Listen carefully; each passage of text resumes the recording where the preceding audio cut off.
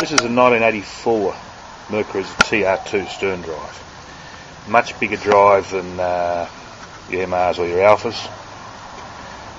That's a 4 inch sanding disc. Gives you an indication of the size. This particular one has been in salt water continuously since 1984, so it's done a good job. What I've done is grind it back to the aluminium because it was starting to pit a little bit from electrolysis, even though we replace anodes on a regular basis.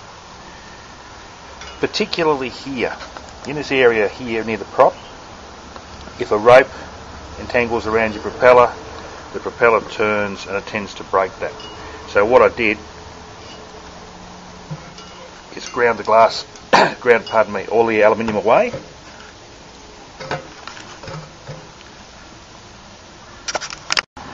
I cut the aluminium that had started to corrode away and moulded the whole catastrophe in epoxy and fiberglass mat. So the whole lower area of the leg is now encapsulated in a sheet of epoxy. No water can get to the aluminium. No oil can get out of the leg into the water. No water can get out of the leg into the oil. Uh, I did a test on this two years ago on a portion of the skeg.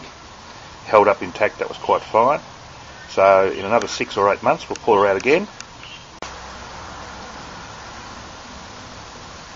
So there's our 1984 TR2 MerCruiser leg and you can see quite clearly the whole lower unit's been encapsulated in epoxy and glass mat. Two layers of 6 ounce cloth, four layers of resin, one to start, cloth, one over the cloth, one to seal.